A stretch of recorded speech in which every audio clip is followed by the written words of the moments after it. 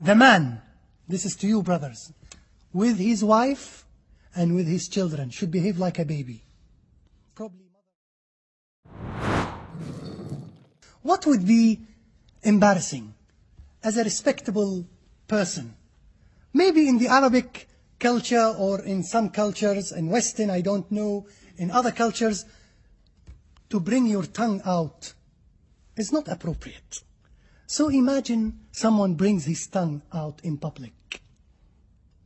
What would be the situation? I tell you that it happened with the Rasul Abu Huraira narrates, which shows that it's a public incident. And I want to read it in Arabic. And this is in the book of Ibn Hibban, محدث, great محدث.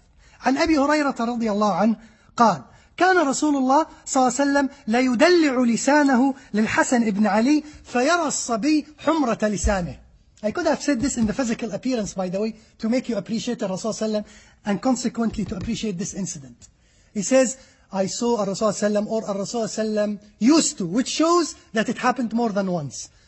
Bring his tongue out to Al-Hasan so that Al-Hasan sees the redness of the tongue of Rasul But what is he doing? He's playing with the child, but he's playing in public and he's not embarrassed from the cameras or the pens of the narrators. He's not embarrassed that you would know this incident. He's not embarrassed that I narrate this incident. He's proud of it. And that's why he did it, because he wants all of us to do it. Can you do it in public? Sunnah of Prophet Muhammad sallallahu alayhi wasallam.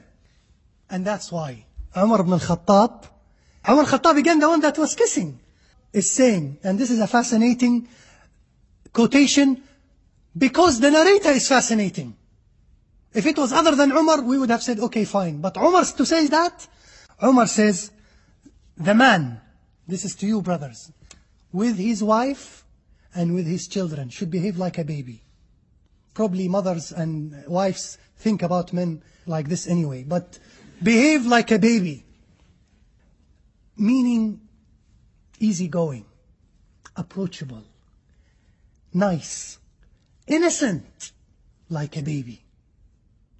You beat him up, he doesn't retaliate. You speak to him with a toy, he smiles. عمر الخطاب says ينبغي للرجل أن يكون في أهله كالصبي. And when that very child or very baby is called for a duty, he is found a responsible man. فإذا التمس ما عنده وجد رجلا. He smiles with his wife, he plays with his girls and boys at home. But when he is cold, he behaves like a man. Or like a woman, a responsible woman.